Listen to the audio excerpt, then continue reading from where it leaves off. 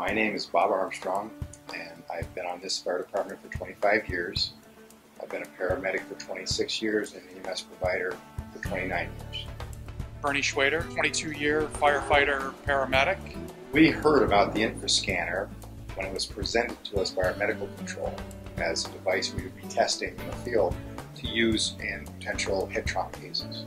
It's interesting that you know we possibly could detect a, a bleed early with that tool. We were called to the home of an elderly lady in her late 70s who was vomiting, and her family felt that she was coming down with a flu.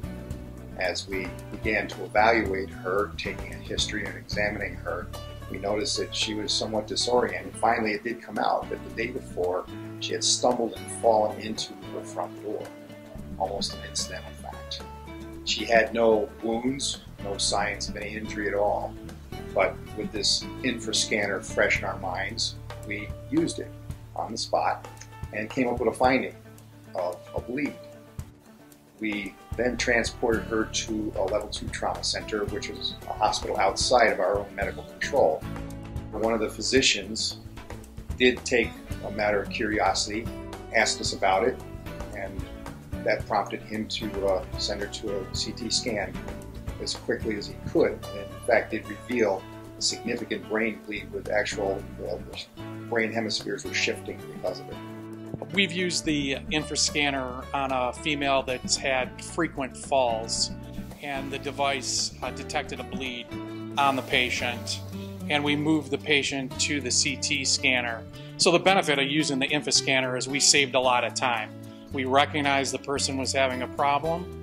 We used the infrascanner. It confirmed that the patient was having a bleed, and then we were able to contact the emergency department, and the emergency department was able to take the patient directly to the CT scan, and the patient went to surgery after that, and the patient did survive.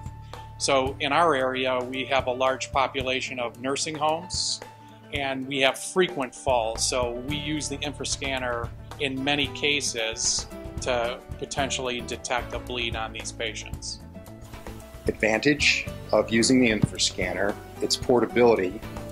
Oh, it's early detection. Really, we can uh, alert the hospital that uh, we have a possible bleed, and we can move the patient directly to the CT and avoid uh, routing the patient through the ER. I think that it's a, a pretty significant tool that we can use, especially as casualty incident or triage is important, where we would have persons who would have possibly obvious injuries that we might treat first and not pay attention to someone who might have a potential head injury.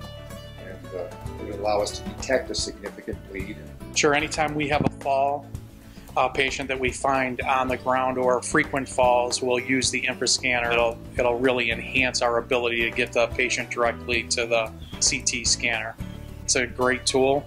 You know, we've had great success with it.